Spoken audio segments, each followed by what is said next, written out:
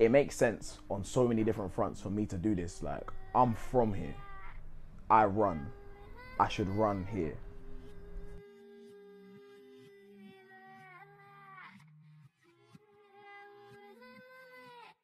I've been around elite athletes for the last 10 years.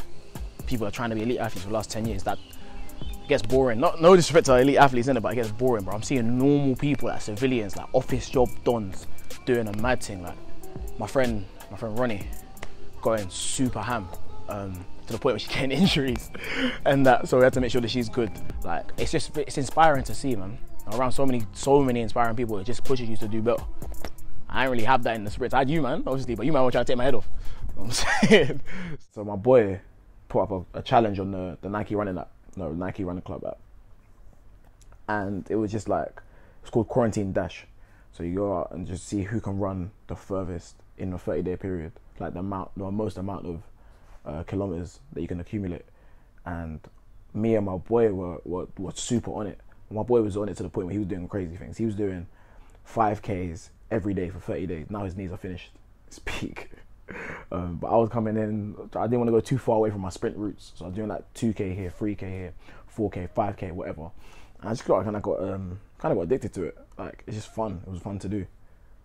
Anyway, later on in that year, my coach and my group were like, "Yo, where are you? Like, we're jumping the fence to go training. Like, why don't you want it that bad? And I was like, bro, because I don't want it that bad. Like, I just don't. Like, I was enjoying little things that I had missed over the last 10 years. Like, I'd missed being around my family and talking to them and getting to know them as people. It was weird. I've always kind of envied runners because they have a community that I don't think exists in track and field. Like, they care about each other. They're, they're mad, like, supportive of each other I'll be real. I don't really support people in track and field unless I like them as a person. Like if I know you personally, then I'll support you. But I'm not out here just wishing for the best for every sprinter. You know what I mean? Sometimes I'm trying to take my set off.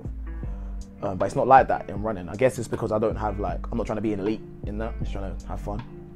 But you can have fun in running and just run around and do that. Um, so I just I was like, yeah, I got semi decent at it during lockdown. Let me just do some running. So I did some runs little 5k here, little 5k there. And then one of my boys, my boy Ron, he ran a half marathon in September or something, a Hackney half. Normal guy, you know, doesn't not an ex-athlete, not ex this, ex that, whatever. He's just a normal guy. Just decided he wants to do it. Ran a sub two hour um, half marathon with a cramp. I said, yeah, that's wavy. I want to do that. Um, so I did.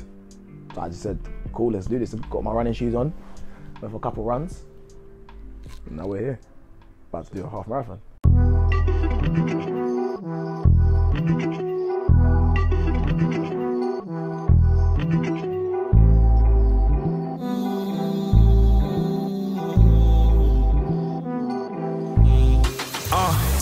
Everything is sounding fuego, trying to make this dinero to feed all my demons. I've been in studio wheeling, niggas like Eddie Guerrero, they're cheating and stealing. I couldn't lie on a tune, have my brothers thinking less of me, that shit's pathetic. My pride will probably be the fucking death of me, but if that's how I gotta go, let's get it. 2013, those were the days when me and Rod were playing Jigger and Dame. Remember when I couldn't handle the rain, but now I got a bit of clout in the game. She's sending me texts like, hey, bighead, I'm a real bighead, I'm a real sickhead, man, I'm so wicked. And I left her on red, I got nothing to say, she can deal with it.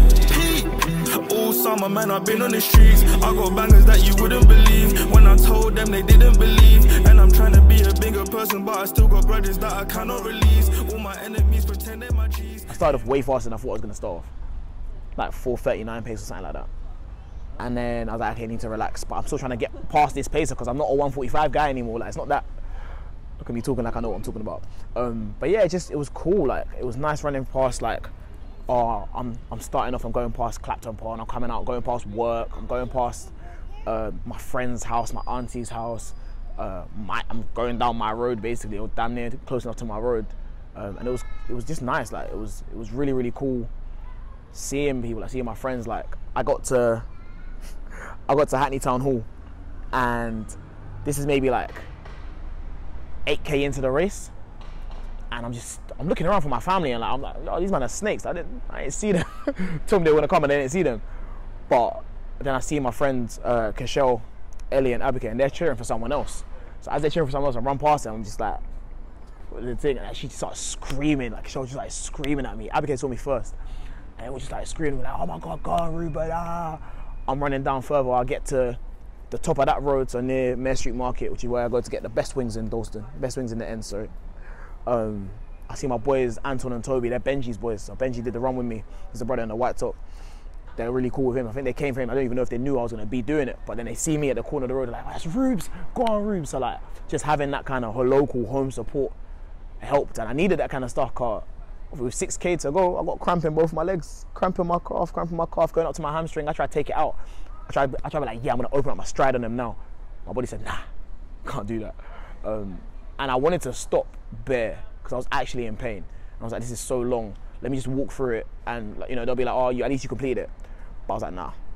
All the people that I've seen today that have come and, and done what they needed to do, bro. My, my friend Amy got a Polaroid of me mid run. And like it's things like that. Seeing all these people kind of made me feel like I have to finish it, not just for myself, but for them too.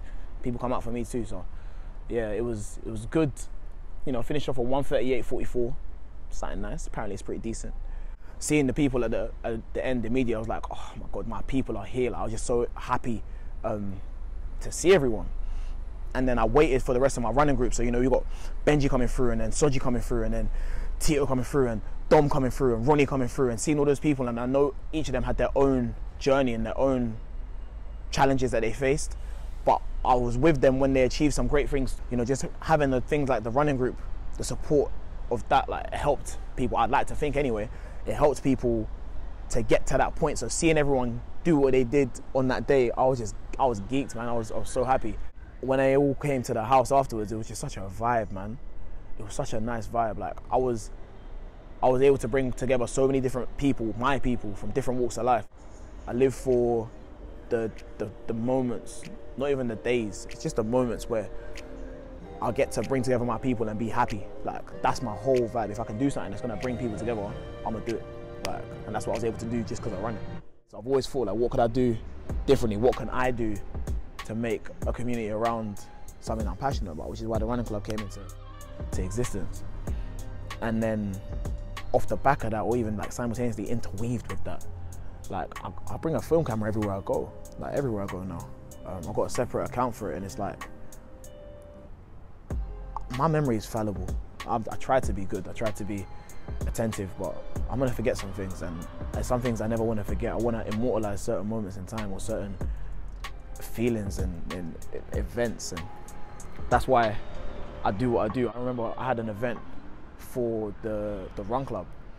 And I brought my film camera to that as well. So I was able to capture these people who know each other only through running and only through me in a nice and calm environment. We're all going playing mini golf and stuff, like having a whale of a time, just doing other things, being ourselves.